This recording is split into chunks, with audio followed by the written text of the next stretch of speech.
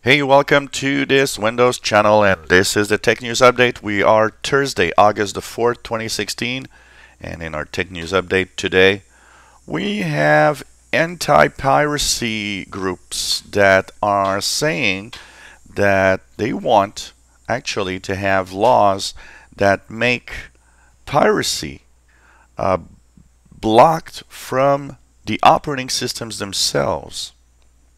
So what they say is that one of the major problems of piracy is the fact that the contents can still be played, can still work in the operating systems where people download them.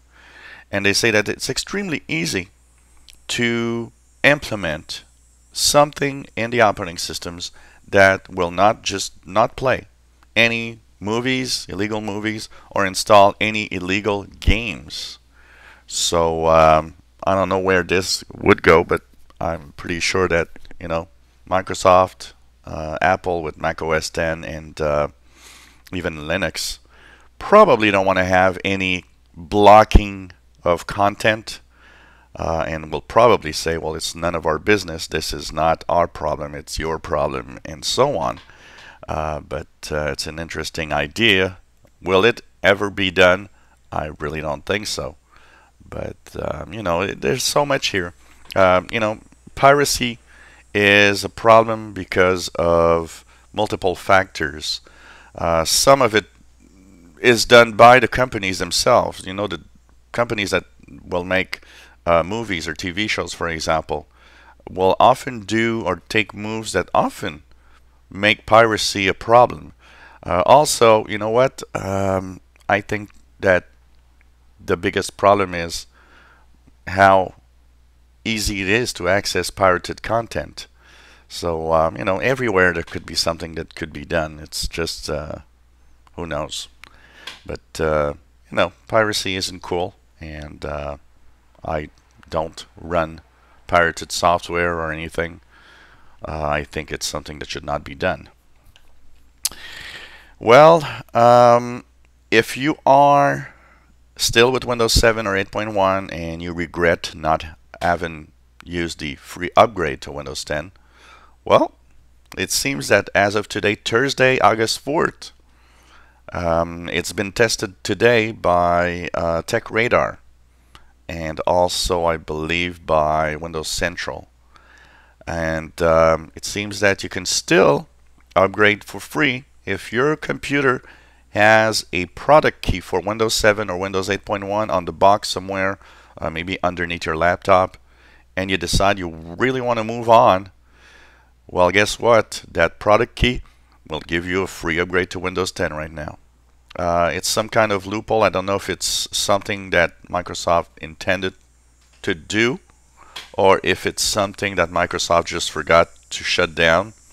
But one thing for sure, if you want to take advantage of this, better hurry because uh, we never know when this could shut down. It could still work in two weeks, like it could stop working, you know, today. Uh, so, you know, get it while you can. Windows 10 free can still be uh, installed on your machine as long as you have a Windows 7 or 8.1 product key that you will enter, of course, in the Windows uh, itself. That's for sure. Well, Facebook um, is actually opening a huge cutting edge hardware lab. Um, it's a 22,000 square foot lab. What's really the most modern of all. And the reason is simple Facebook is not just a social media, it's also now more and more a company that wants to create hardware. If you think about these uh, drones that will give internet, if you think about all sorts of, you know, uh, things like uh, virtual reality, and there's so much hardware stuff that they want to do that basically they just need their own labs to do stuff, and they need to create their own hardware. Uh, you know, this is what happens when you start getting serious about making hardware. So it's going to be interesting to see what comes out of these Facebook labs. Uh, you know, I can imagine a lot of Facebook enabled devices also that could be quite interesting. Well, a um, while we're looking at the anniversary update rollout, you know, a lot of you still don't have it. Um, some of you have problems, some of you don't. I have a very limited number of problems with the anniversary update. Um, most on my, you know on my three machines, um, only one has an issue with um, slightly with Edge, it seems, uh, except for the tabs. Um, now from the reports that Microsoft is getting in the past 48 hours, uh, first of all, the number of people that have problems is very limited.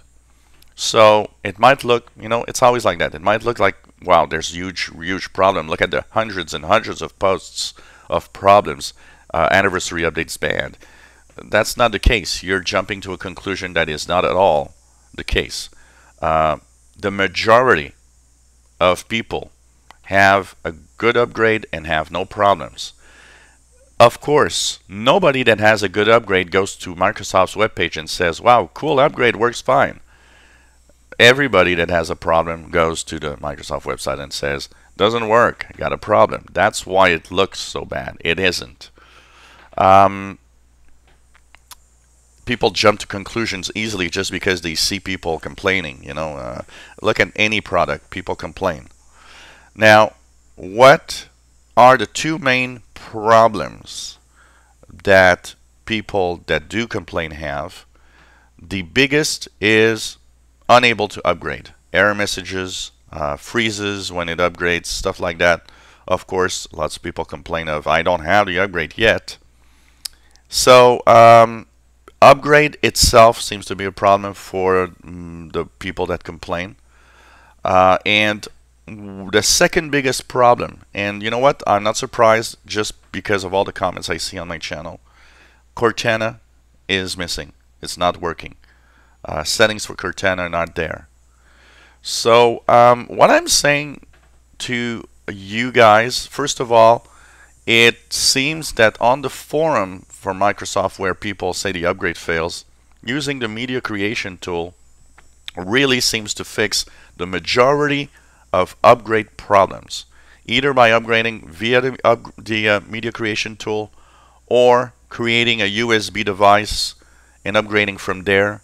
That seems to be the best way if you got some problems to upgrade. And um, as for the Cortana problems, I'd say um, I, I, will be looking into this for sure because I will try to post a video to see if I can find a fix. I'll post a video on what you can do to try to fix Cortana. But in the case where it's not that simple, um, I would guess that one of the probably one of the best things to do is to wait for a cumulative update that will eventually be pushed, the anniversary update, that will probably fix Cortana for people that have a problem with it. So being patient, probably. Um, here on my machines, you see I've upgraded three. Cortana works on all three. And it understands me and has no, no issues. But uh, I do see a lot of you that have posted, hey, Cortana stopped working. So uh, I'll be checking into that, that's for sure. Well, um, another move, uh, some movie theaters are actually looking at a way to block cell phones from working in movie theaters. Uh, it's become a big enough problem that movie theaters themselves are saying, look, we got to do something about this. It is annoying. Uh, people are completely idiots with their phones in cell theaters, you know, in, in uh, movie theaters. Uh, I shut down my phone in a movie theater. If you don't, I'm sorry, you're an idiot. Um, one of the things that they are looking at is um, building uh, walls or building um, theaters themselves that have uh, the possibility to block outside um, radio waves, which means will, of course, block cell phones uh, from working. So you'll have no interest in using it. And um, talking about that, of course, another technology they want to see is uh, blocking cell phone via radio waves, but that is complicated because for in most countries this is illegal. Uh, and uh, one last thing about movie theaters and cell phones.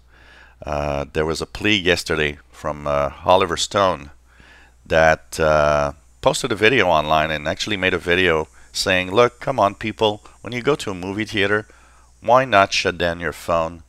You know, just to watch the movie and be interested in what you're looking at. Uh, that is, of course, a good idea. You know, I go to the movies regularly, and I can tell you one thing.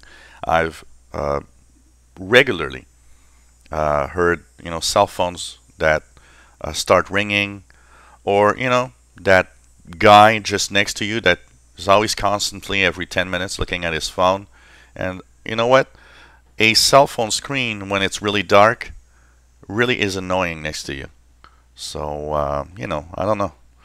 The, it, it's very difficult, you know. There are too many idiots out there. And finally, uh, interesting article um, that was popped up on, um, I believe it's Tech Radar. It's a security expert that says uh, that uh, something needs to be done about a flaw in my, uh, Microsoft Windows. It seems that there's a flaw, and the flaw dates back to Windows 95.